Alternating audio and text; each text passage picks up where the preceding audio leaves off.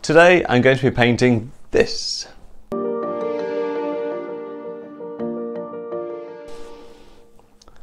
Hello everyone, my name is Mike Dawson and today I'm going to be using this photograph taken about 17 years ago of my old chocolate Labrador dog and I'm going to be creating this painting. Small, 18 by 24 centimetres, but it's a painting of Harvey. Harvey was great and uh, it's great to finally see him in painted form. Um, this probably I'll probably do another one in the future, but this is the first one of Harvey I've done. Anyway, let's watch the video and see how I did it. So with this painting, what I've done is it's a small panel. It's only 18 centimeters by 24 centimeters. Um, it's hardboard with well, MDF, a 3mm MDF with a quite a nice so starting on this board, it's a 3mm MDF uh, board with a linen uh, uh, glued over the top. It's really, there's really lovely boards. Um, 18 centimeters by 24 and I've prepared it with just quite simply some uh, burnt umber with Liquin. Uh, I did it the other day so I left it to dry overnight and as normal I've just done a quick drawing and sketch outline of where I want the main parts of Harvey on this and I'm just going to quickly go over everything with this. This is very much underpainting uh, what I'm doing first off so probably uh, probably take about 45 minutes or so just to quickly get some semblance of the tones in there. So what I've started with is burnt umber, um, maybe a little bit of raw sienna, and for the highlights I've put some just titanium white in there. Again, mixed with uh, Liquin, Liquin Original, and just going over all the different parts to fill out as much as I can a likeness of my little Harvey. So I'm kind of kind of mindful of is to not add too much detail in this part, not too much detail into the background. Um, and I don't want, I'm trying to try my hardest to shy away from doing a copy of the background. Sort of eventually what I want is uh, something that is very much soft focus background that has a more of a misty feel of it's what I remember about Harvey even though this was actually quite a sunny day what I remember about him is just being there in the misty fog on usually in the winter where it's really murky but I don't want it to be too horrid weather just uh, kind of a, uh, just what I remember of Harvey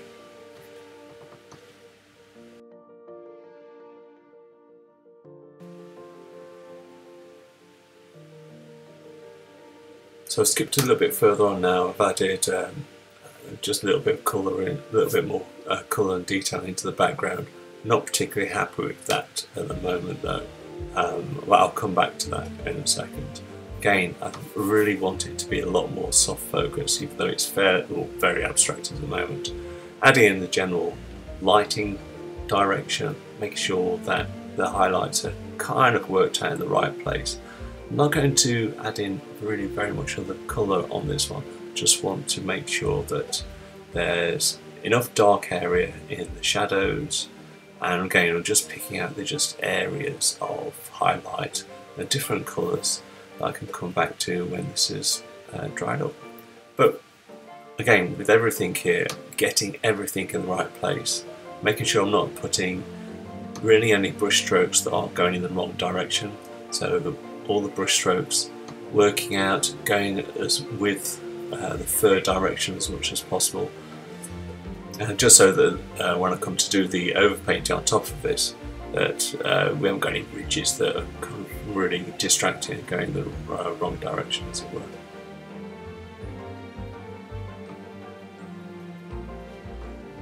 I've left this overnight and what I'm going to do now is the main sort out this uh, dark area to, uh, on the left hand side. Um, it's fairly tricky when I've got this uh, lighting and camera set up. There's a, I'm using a gloss photo, the light's reflecting off it, so it's kind of tricky for me to actually see what's what. Um, but I didn't want to go to the, I didn't want to actually scan the picture put it on the iPad so it's a little bit easier to see, or I could zoom in easier because uh, I'll lose some of the colour and uh, detail that I really want to keep. Although having said that, um, I don't. The way I remember Harvey, I don't remember him being as uh, as much red in his fur. I thought it was very much more traditional, kind of a chocolatey uh, brown colour. But hey, uh, I'm going to go with. Uh, I think probably a combination of what I remember and what the photograph uh, reference is telling me. So all this I'm just using a uh, number 4 uh, hog bristle brush.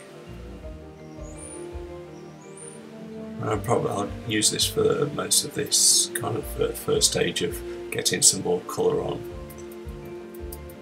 And then I'll use uh, probably a few other different brushes to actually add a few little fur highlights. This isn't, uh, also with the, the uh, texture of the linen, I'm not going to be making this massively detailed. I want to keep some uh, brush strokes in, in with this. So I intend this to take probably a few hours today, so on day two. So probably in total, probably about four, four hours painting time. Maybe I'll revisit this at a later date and do something larger. I'm a little bit further on now and what I've been doing is adding a little bit of detail into Harvey's ear. And those of you who know Labradors, they've got two, two, or three types of fur. They have quite a coarse fur on their body well, a kind of outer fur. Then they have a very downy under fur, like undercoat as it were. But on their ears and the head, the fur is a lot finer. Um, so that's something that I want to try and recreate going forwards. But I want to make it more of a, uh, a sheen of colour on his uh, head and ears, although I want to pick up some of the little wisps on his ears. Um, his jowls, of a slobber uh, getting those jowls right. Um, did he always look like he was smiling? Uh, well, all Labradors look like they're smiling and happy all the time. So that's the point we're going now. You'll notice, uh, I didn't mention, but you'll notice that I softened the uh, background. I'm happier with this kind of background at the moment, although the video does make it look a slightly different colour to reality something I'll have to look at in the future. But okay, uh, kind of keen at this moment to get his gums and jowls looking as close to the finish as we as I want, and then probably I'll have a, a quick break and then come back to his fur. I'm using a fairly broad or broad for this painting, uh, number four uh, black hog uh, bristle brush here uh, with very little paint on it, just almost a kind of a dry brushing, but uh, the paint is fairly wet. Uh, just on a few of the bristles and just going over the different sections. I'll blend this all in afterwards, but I just wanted to get a few dabs of paint on there. Also, I've been using a uh, an old-ish fan brush to scrape a little bit of paint onto uh, the ears. So for that, I use uh, some burnt sienna um, to actually get to give it the bit of more uh, warmth rather than the umber, which is fairly muted in that respect. Um, added a little bit of, as you can see, blue highlights, so uh, ultramarine blue with some uh, burnt umber to his coat a little bit, and yeah, the highlight on the photograph is actually, what you can see now, it's actually a moving highlight from the uh, reflection. But I'm happy with the, the way the light is coming down, I'm happy that everything is pretty much in the right place. The, the angle that I've got the, camera at, sorry about that, the angle I've got the camera at uh, kind of foreshortens it and it makes his snout look a lot uh, shorter than it actually is. Uh, well, than it actually is on the paint, uh, the photograph reference.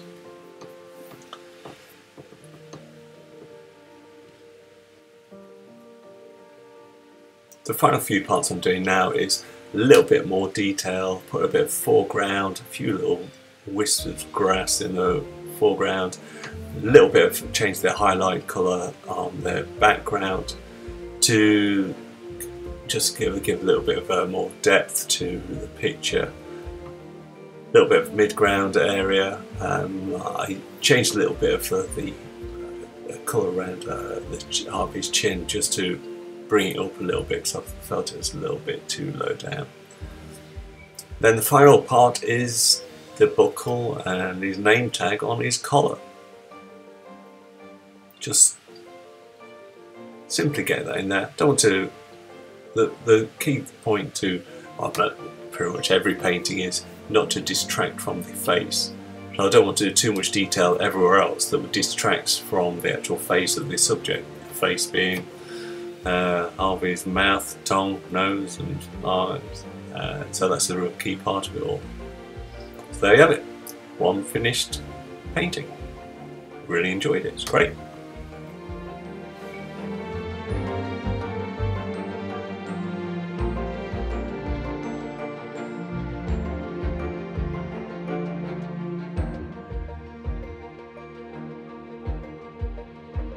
Well, there we have it. It's all finished. I really enjoyed doing this. It only took a few hours, but it's great to see this pet portrait.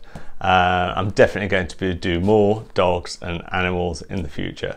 Um, and I will do another one of Harvey, probably a larger scale, um, maybe something else, some other props or something with it. Anyway, hope you enjoyed the video. Please don't forget to subscribe and like the video and indeed share it with anyone who may be interested. Enjoy your painting. Bye now.